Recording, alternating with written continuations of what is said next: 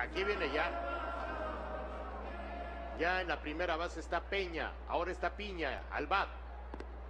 La pelota que se queda un poquito abajo. Bueno, fíjense, Arsenio León, el hombre que abrió el partido por parte de Venezuela, tres hombres, tres outs, una entrada lanzada. Tan, tan. Dani Rondón, ocho hombres enfrentados, dos entradas, un hit, dos ponches, tan, tan. Se acabó. Para no meterse en problemas. Aquí Eduardo Paredes está eh, obligando a una rola en la segunda base. Qué buena, qué buen trabajo por parte de Sean Mendoza. Orlando Piña fue el que bateó. Y bueno, pues a final de cuentas, señoras y señores, ¿qué creen de esta manera?